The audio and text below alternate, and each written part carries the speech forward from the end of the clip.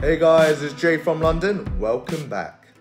2010년에 나온 Creed Aventus가 아직까지도 많은 분들이 여전히 탐내는 Creed에서 나온 베스트셀러 향수들 중에 하나인데 저는 이 hype에 맞설 Nishane의 Aventus랑 비슷해서 hype이 된 Hacivat도 가지고 와봤습니다.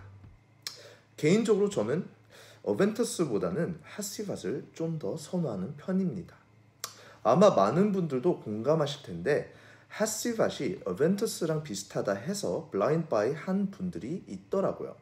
하지만 그 blind buy 하시기 전에 그 비슷한 점은 둘이 파인애플 노트를 공유한다는 점과 오프닝에 citrusy한 fresh한 느낌이 있다라는 걸 아셨으면 좋겠어요. 그래서 Nishane의 Hacivat이랑 그 Creed Aventus는 둘 다 너무 고급스러운 향을 가지고 있습니다. 하시밭은 좀 중성적이지만 어벤트스는 더 남성용에 가까운 향수라고 생각이 들어요. 어벤트스는 그래서 그 여성용 어벤트스가 따로 나왔습니다. 그래서 니시안의 하시밭은 이스탄불을 기반으로 한 브랜드로 향수의 이름은 터, 터키 그 샤들 플레이에서 주인공 중 하시팟이라는 인물이 있는데 그 모티브에서 따온 향수 이름입니다. 이 향수는 그 파인애플 노트가 오프닝에 강력하며 특징적인 향입니다. 그래서 어벤투스는 그 브랜드의 말로는 그 It celebrates strength, vision, and success, inspired by the dramatic life of war, peace, and romance lived by Emperor Napoleon. Aventus는 프랑스의 브랜드인 Creed에서 출시된 향수로 상쾌하면서 부드러운 향을 제공하며 그 파인애플 노트 역시 강력한 향의 특징입니다. Nishane의 Hacivat과 그 Creed Aventus는 모두 파인애플 노트가 강하게 나타나는 과일 향의 향수이지만 그 단계적으로 차이가 있습니다. Creed Aventus는 조금 더 부드럽고 floral한 매력을 가지며 달콤하면서 섬세한 향이 특징이고 반면에 Nishane의 Hacivat은 그 oakmoss와 woody 향조 그리고 top의 citrusy 향조가 지배적인 향수입니다. 이러한 차이점을 고려하여 개인의 취향에 따라 두 향수 중 하나를 선택하시면 될 것 같아요. 그래서 향은 어떨까요? Now, let's get scented.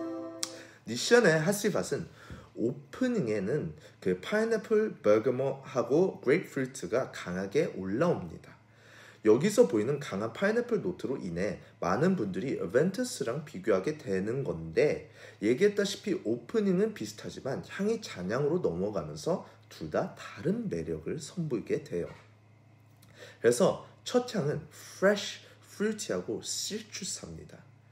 물론 뒤에서 약간의 우디한 향도 찾을 수 있습니다. 그 뒤에는 부드러운 자스민의 터치가 첨가된 클래식 chypre 향수답게 patchouli랑 oakmoss 노트들이 향을 드러냅니다. woody하면서 oakmoss 노트는 마치 oakmoss로 둘러싸인 너무 나무 가득한 약간의 습한 숲을 지나가는 향을 내고 있어요. 향을 표현하자면 되게 발랄하고 활발한 사람이 파인애플이랑 과일들을 먹으면서 비온 후인 숲을 지나가는 그런 느낌이에요. 약간의 신선함도 있는 자연적인 향이 너무 좋습니다. 뭔가 그 진짜 자연에서 맞는 그 인위적이지 않는 oakmoss 향이라 너무 좋고 매력적인 것 같아요. 나 Aventus는 fruity chypre입니다. 그래서 오프닝은 Hacivat이랑 비슷하게 fresh fruity citrus합니다. 하지만 여기서 보이는 파인애플은 약간의 시크함도 있어요. 사과 노트와 blackcurrant 노트가 복합적으로 나서 그런 것 같습니다. 그래서 끈적이는 느낌보다는 남자다운 묵직함이 있는 것 같아요. 시원한 스킨 느낌도 있는데 뭔가 고급스러운 남자다운 향인 것 같아요. 뭔가 부자 티가 난다? 이런 느낌? 그래서 시간이 지나면서 가죽이랑 woody 향이 슬며시 거칠게 모습을 드러냅니다. 가죽향은 버시 노트에서 나오고 그 후에는 향이 부드러워지면서 바닐라와 머스크의 포근함이 나타나서 너무 매력적인 향이라고 생각이 들어요. 강인하지만 포근한 수트를 입은 성공한 남자 같은 느낌이 있습니다.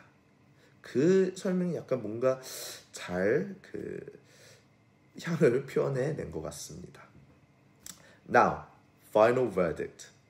일단 하시바시랑 어벤터스가 reformulated 되고 새로운 바치들이 그 생기면서 지속력이 덜하고 그렇다는 말이 많습니다. 하지만 여전히 두 향수 다 지속력이 우수한 편이고 실라지 또한 큽니다.